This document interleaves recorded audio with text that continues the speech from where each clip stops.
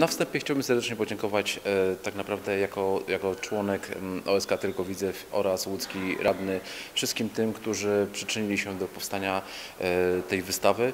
E, Tutaj w szczególności chciałbym podkreślić pomoc, którą udzielił nam pan Tomasz Gawroński, nasz historyk, który był motorem napędowym tej całej sytuacji, a drugą osobą, którą także tutaj chciałbym uhonorować jest pan Tomasz Glica, kierownik Muzeum Sportu, który swoim doświadczeniem bardzo nas wspierał.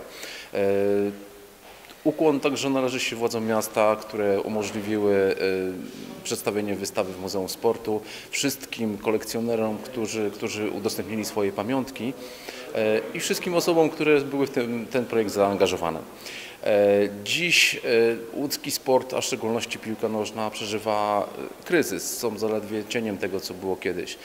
Powoli podnosimy się z kolan, a takim światełkiem, które gdzieś tam świeci, jest, są te nowe stadiony, które zostały wybudowane, które się budują, które mamy nadzieję przyczynią się do powrotu naszych klubów do ekstraklasy, czyli tam, gdzie jest ich miejsce.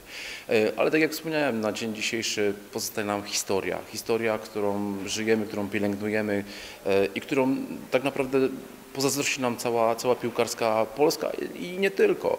E, I choć e, w tym roku klątwa Widzewa została zdjęta przez pewną drużynę z Warszawy, to jednak jakże diametralnie inne są e, wyniki osiągnięte chociażby z taką drużyną jak Borussia Dortmund, z którą i Widzew i drużyna z Warszawy konkurowała niedawno.